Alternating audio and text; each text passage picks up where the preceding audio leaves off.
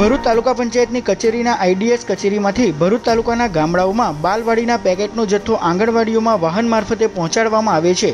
જે જથ્થો છેલ્લા ઘણા સમયથી બારોબાર સગે વગે કરવાનું કૌભાંડ આચરાઈ રહ્યું હોવાની બાતમીના આધારે બાળ વિકાસ અધિકારી રીટા ગઢવીએ તેઓની ટીમ સાથે દયાદરા ગામની સીમમાં આદિવાસી મોહન તલાવડી પાસે તપાસ હાથ ધરી હતી. તે દરમિયાન તેઓને બાલવાડીના લાભાર્થીઓને અપાતો ટીએચઆરના પેકેટનો જથ્થો ગેરકાયદેસર મળી આવ્યો હતો, જે અંગે અધિકારીએ તાલુકા પોલીસને જાણ કરી હતી.